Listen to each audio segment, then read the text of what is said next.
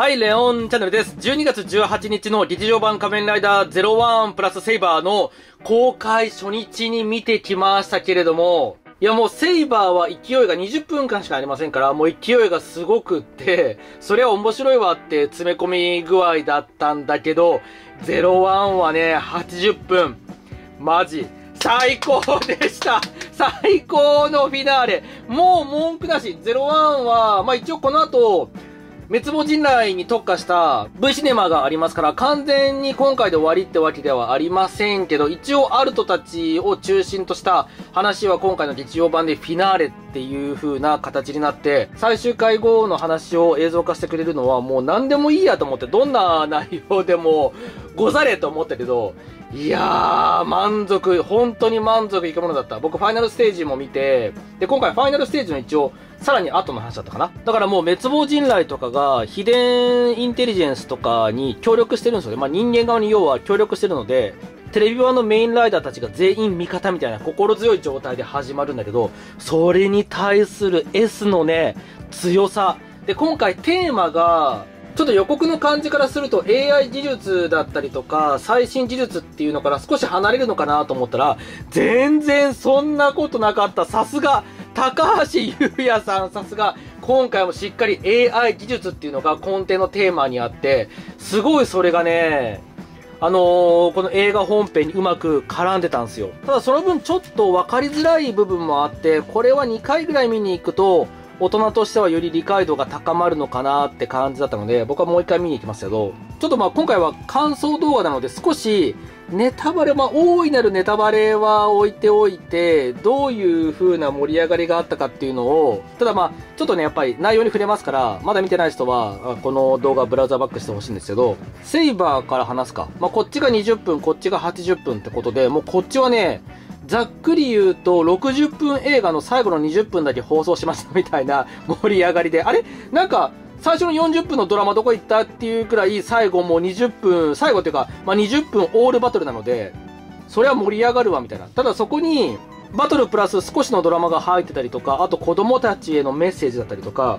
そういうのも込められてますので、まあ、セイバーに関しては本番が次の夏の映画だと思いますから、最初の一発目の短編映画としては十分な内容だったんじゃないかなと。セイバーの新フォームも出てくるし、さらに、またね、谷口正史さん、アマゾンアルファでおなじみの、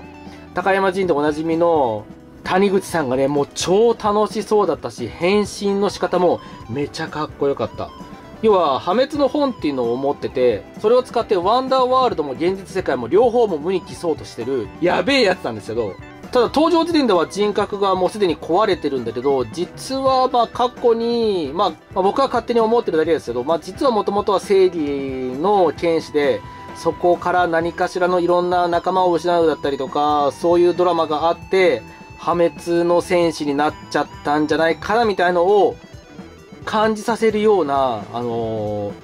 谷口さんの演技で、それがすごい良かった。で、これ、不死身の剣士なので、死なないんですよ。フェニックスがモチーフになってるし。なので、テレビ本編でも今後、まあ、絡んでくるであろう演出がありましたので、また今回の映画を見てることで、今後のセイバーのテレビ本編が面白くんじゃない、面白くなるんじゃないかなっていうところ。あとはね、このソード・オブ・ロゴス側の同時変身の演出がすっごいかっこよかったりとか、今回子供たちへのメッセージで、君の物語の結末は君が決めるっていうテーマがあるんだけど、それのね、伝え方も、なんかね、小説家っぽくってよかった。やっぱね、小説家っていうのをもうちょっと強調してほしいですね、テレビ本編では。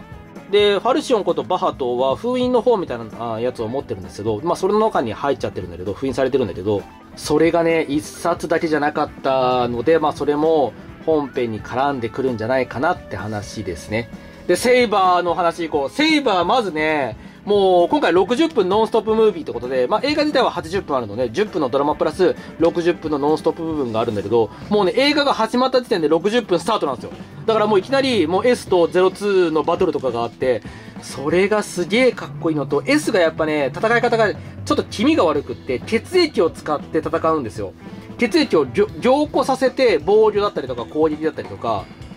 そういう演出になってたりとか、毛細、変身するときに毛細血管がブワーッと出てきて変身するみたいな、全編にわたってね、とにかく S は不気味。S っていうか、まあ、エデンか。エデンは不気味。そして、世界に宣戦布告をして60分で世界を破滅させるみたいな、終わらせるみたいなことを起こすんだけど、だからいきなり世界中がピンチの状態からスタートするので、もう本当にノンストップだった。で、それを止めるために、チリチリになってた、まあ、要は秘伝、アルトは秘伝01として戦うし、フワさんは無職なので、自分は自分で変身して敵と戦うし、で、ユアはね、チームを持ってるから、まあ、01の最終回でも、部下たちに迎え入れられましたけど、変身しなくても、チームがね、めちゃ強くて機能してるのが良かった。さすがチームリーダー。そう思うと、やっぱ部下をね、動かす力ってのは不破さんにはあんまりなかったのかな。で、アークを監視する役が滅亡人雷になってますから、これもね、特に滅びむっちゃ頑張るんですよ。強いし、もう、この、スティングスコーピオンのままでずっと強いからね。で、1000%さんも活躍の場が多くってめっちゃ良かった。ただ、やっぱりサウザー化の立場は変わってませんから、できれば、やっぱ社長のね、座が似合うので、早くザイアの社長に返り咲いてほしいけど、どうなるんですかね。で、ここに01と02が並び立ってて、もう予告からわかる通り、01、01、02の共闘があるんですけど、それはね、言えない。言えないけど、おーい、マジかよ 最高じゃねえかみたいな。普通に映画館で、ほーって小声で言っちゃった。で、で、今回さ、この S が、まあ、軍隊を、まあ、軍隊とか、まあ、組織を持ってるんだけど、その組織が、ザイアスラッシュライザーみたいなので変身するじゃないですか。アバドライザーだったっけ。あれがなんで、ザイアの技術をベースにしてるのかっていうのも、ちゃんと明かされますし、ふわとね、滅びの共闘とかもあったりとか、滅びはすごいね、人間味がアップしてましたね。まあ、テレビ本編最終回でも感情爆発してましたので、もうかなり人間っぽいなと。で、あ、そう、伊豆に関しても今回ね、2号機が頑張るんだけど、アズも出てくるし、もう演じ分けがすごい。で、1号機の伊豆が出てくるかどうかっていうところなんだけど、もうね、とにかく鶴島さんの演じ分けがすごくって、そこにも感動しました。で、ここには載ってないけど、あのヘルライジングホッパー、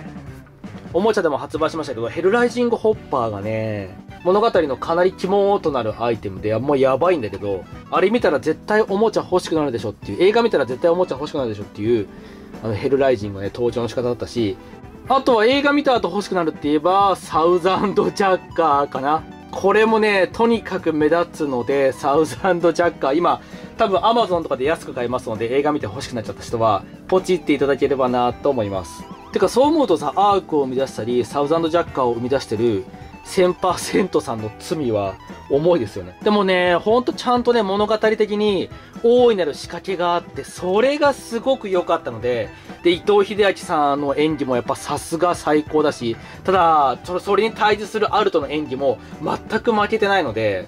まあ本当に映画館に見に行ってほしいので、ちょっとあまり内容を深掘りしないようにしてますけど、もうとにかくもう01が好きであれば好きであるほど最高の最終回として見られる映画になってますので、ぜひこれは見ていただければなと思います。で、あとそうだ、アズの暗躍も今回あるんだけどさ、アズって、あの、アルトが闇落ちした際には、イズと同じ姿をするっていう、なかなか趣味の悪いことをしてましたけど、今回 S の前に現れる時に最終回で、なんか、変わった格好してたじゃん。あれあのアズの姿はって思ってたけど、ちゃんとね、それも、劇場版を見れば理由がわかりますので、まあ、アズのね、守備の悪いこと。ただ今回映画でアズ、あ、